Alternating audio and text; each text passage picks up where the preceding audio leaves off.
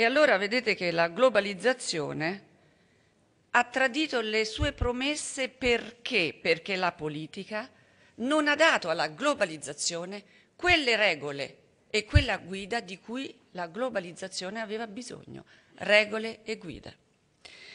Ecco, allora noi, sono sicura che noi in questa sala abbiamo tutti tirato un sospiro di sollievo all'esito delle elezioni francesi.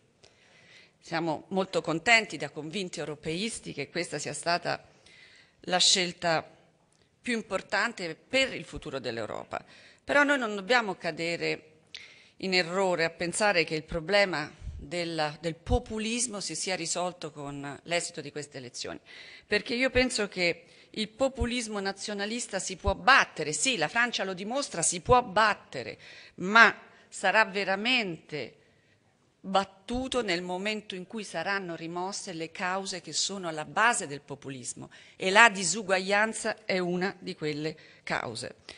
E allora lo è per l'Europa, ma lo è anche per l'Italia.